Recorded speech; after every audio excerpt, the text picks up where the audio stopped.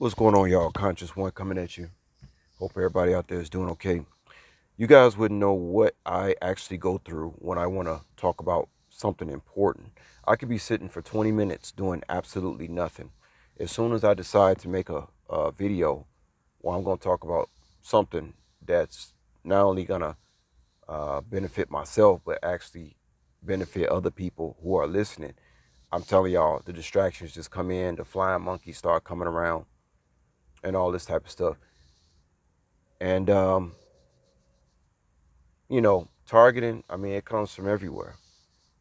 YouTube is the least part of it. YouTube, I'm just glad I get the platform to say what I got to say. But when you start to see through this matrix, when your eyes just open, I, I'm telling you, you really, really see everything.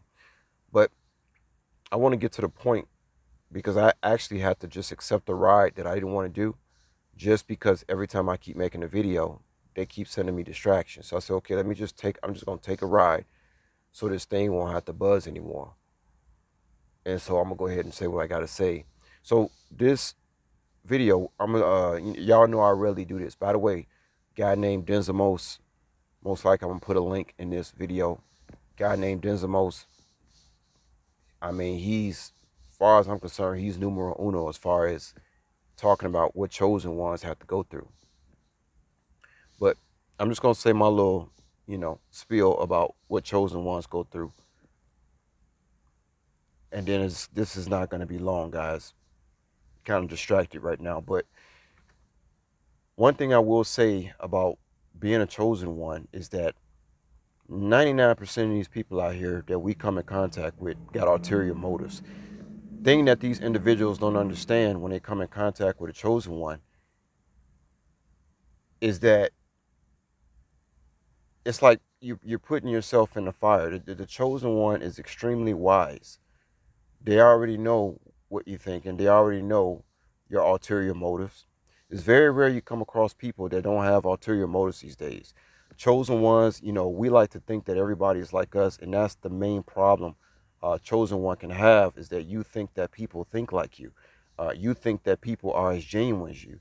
Uh, you think people are as honest as you. You think people are as loyal as you. You think people are as caring as you. You think everybody has the same goals that you do. And y'all know the answer behind that. They don't. But we're going to focus on this ulterior motives thing. Most people that come across you, and even if you're not a chosen one, you guys know that most people who come across you got ulterior motives. Best thing is to be genuine and to practice righteousness and be holy because when you start practicing righteousness, then you're going to have some higher powers starting to come into your life and they're going to protect you and they're going to, uh, they're going to, I mean, how I'm trying to think of the words. They're going to make your enemies know that they're dealing with a chosen one put it to you that way. They're gonna know that they're messing with an anointed individual. Thing about chosen ones, we don't wish no harm on anybody, and that's the whole thing. We'd rather people just accept us for who we is and, and be genuine and don't have any ulterior motives and you know come at you straightforward